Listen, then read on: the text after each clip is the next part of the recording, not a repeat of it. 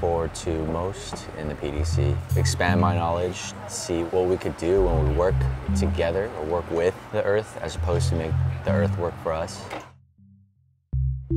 I'm just interested in seeing how everyone runs their farms, like what they like to do, where they set up things, why they chose the places that they chose. It's very different to be suddenly thrust into a community with 30 other people who all have um, these similar interests and these similar ways of thinking. Started getting into organic gardening and learning more about that. I want to do it uh, creating a system, a closed system, rather than having to have a lot of inputs that we, we bring into it. Piece of alder tree that was not to fall in our classroom, so we cut it down and now we're going to make food out of it. Are you donuts are perfect.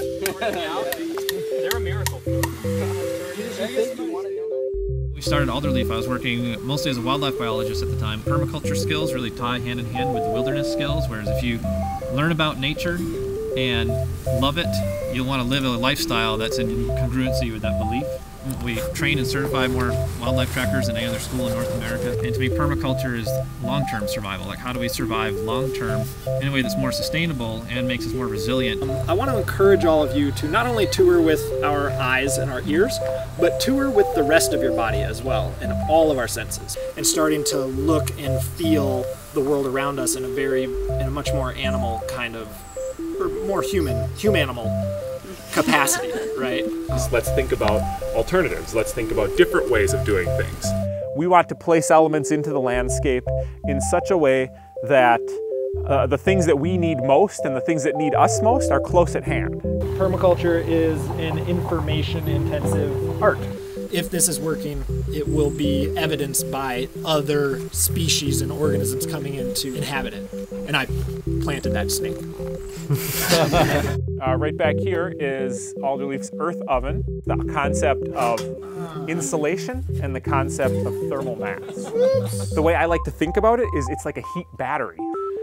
Pretty awesome example of a bunch of technologies. We can take that same concept and that same understanding and we can apply it to how we design our house or how we figure out refrigeration or how we build a root cellar or how we create microclimates for our plants to grow. And part of why I really wanted the PDC was because it allows you to take those techniques that you have some grasp on and understand the method by which you apply them and where you apply them.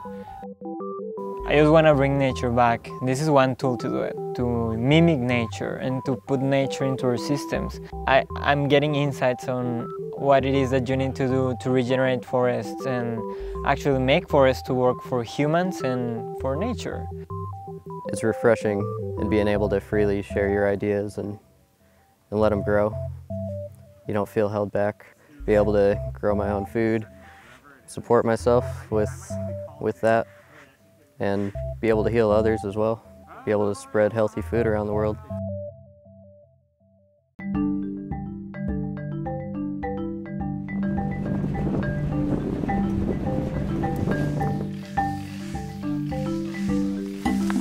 You guys are awesome. We have to do it. It's up to us to keep this tree from breaking apart. This is a good snack fruit tree, you know? This is the zone one kind of area. We should have something we should be eating in the summertime. You have to write that days where they want to drink all the time and then they go to the hospital.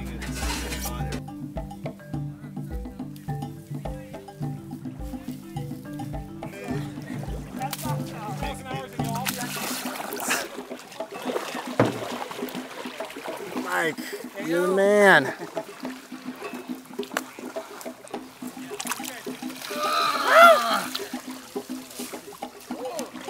It's a swamp plant.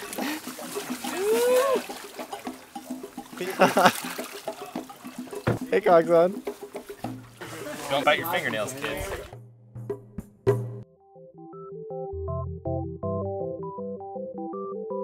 So this is going to be a battery. There's a battery box, and this is for the fence.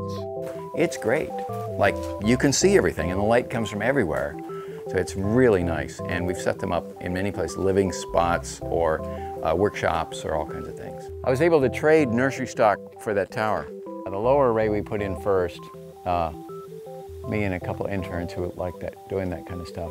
Yeah, I'm, I'm really excited to see where I could plug in with my community and meet the needs for our particular area. My, I feel it builds like this momentum energy and everybody's so excited and after being here all together you just want to go out to the world and make like a huge permaculture project and a huge revolution and and that's great.